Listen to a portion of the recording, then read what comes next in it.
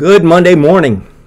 Yesterday was the first day of Advent, and attending church was such a blessing. Today, we're in Psalm 136.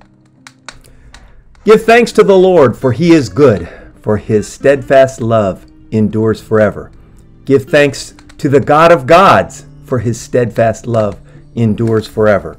Give thanks to the Lord of lords, for his steadfast love endures forever. To him who alone does great wonders, for his steadfast love endures forever.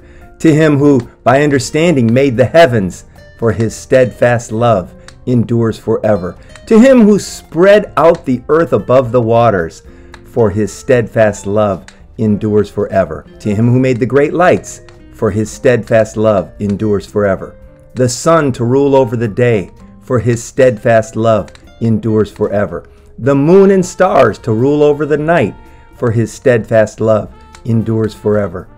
To him who struck down the firstborn of Egypt, for his steadfast love endures forever, and brought Israel out from among them, for his steadfast love endures forever, with a strong hand and an outstretched arm, for his steadfast love endures forever. To him who divided the Red Sea in two, for his steadfast love endures forever and made Israel pass through the midst of it, for his steadfast love endures forever. But overthrew Pharaoh and his host in the Red Sea, for his steadfast love endures forever. To him who led the people through the wilderness, for his steadfast love endures forever. To him who struck down great kings, for his steadfast love endures forever. And killed mighty kings, for his steadfast love endures forever.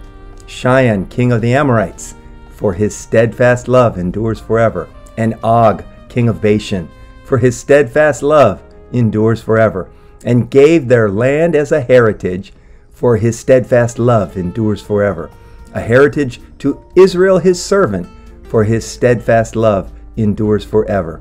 It is he who remembered us in our low estate, for his steadfast love endures forever, and rescued us from our foes, for his steadfast love endures forever.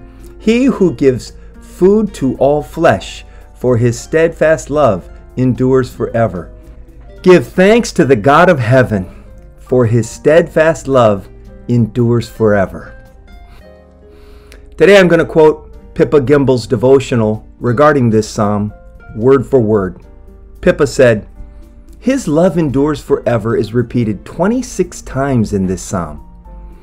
Hopefully, we've got the message. May you be keenly aware of God's love today. I'll see you tomorrow.